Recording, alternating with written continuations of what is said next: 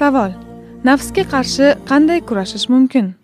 Nafs biror narsaga da'vat qilganda bu insonning ehtiyojimi yoki nafsning haddidan oshayotgan ekanligini qanday farqlanadi?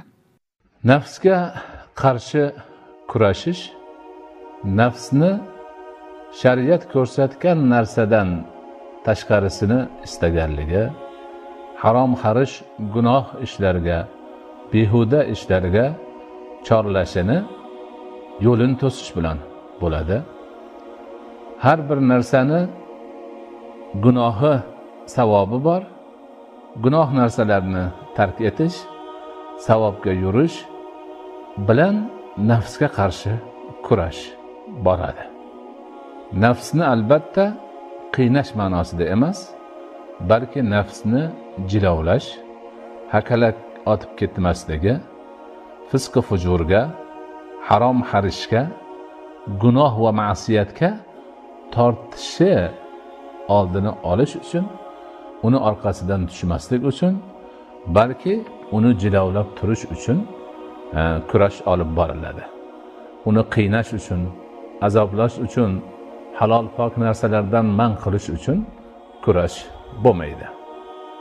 Endi nafs biron narsaga da'vat qilganda bu insonni ehtiyojimi yoki nafsni haddan oshayotganligini qanday bilamiz deganda buning o'lchovi tarozisi shariatning ahkomlari bo'ladi. Nafs shariat ruxsat bergan chegarada bir narsani talab qilsa bu insonning ehtiyoji bo'ladi.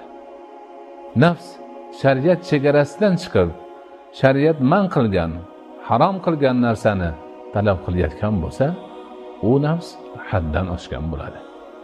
Shuning uchun qilinayotgan amallarni aytilayotgan gap so'zlarni va boshqa barcha barcha narsalarni shariat tarozisiga solish kerak shariat o'lchovi ila o'lchash kerak va shariat chegarasi ila chegaralanishi lozim.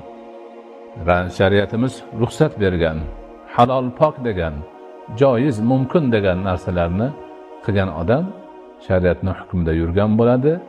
Nafsni demak aytganini emas balki insonni o'zining ehtiyojini halol pok yo'l bilan qondirgan bo'ladi.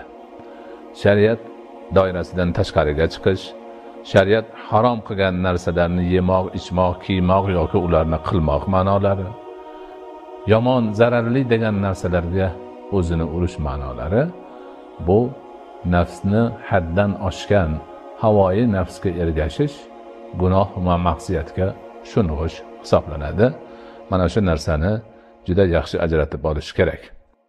Umuman nafsni poklash axloqni sayqallash nafsni riyozatini ya'niki chiniqtirishni yuqori nuqtaga olib chiqish ma'nolari ruhiy tarbiya bo'lmish tasavvuf orqali bilinadi. Unga ana shu orqali erishiladi. Buni inshaalloh asta sekin o'rganib boraveramiz.